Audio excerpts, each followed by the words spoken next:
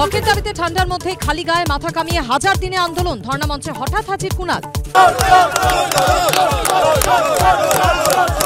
মহিলা তা মুন্ডন করতে হয়েছে তাকে দেখে লজ্জা পাওয়া উচিত। ধর্ণা মঞ্চে বিমান কৌস্তব কুণাল যেতেই চাকরি প্রার্থীদের ধর্ণা মঞ্চে তুলকালাম বিক্ষোভস্থল থেকে শিক্ষামন্ত্রীকে ফোন। ধর্মতলায় এক হাজার দিনে এসএলএসটি চাকরি প্রার্থীদের আন্দোলন দীর্ঘ অপেক্ষার পরেও হকের চাকরি না পেয়ে প্রতিবাদে মাথা কামালেন একের পর এক চাকরি প্রার্থী।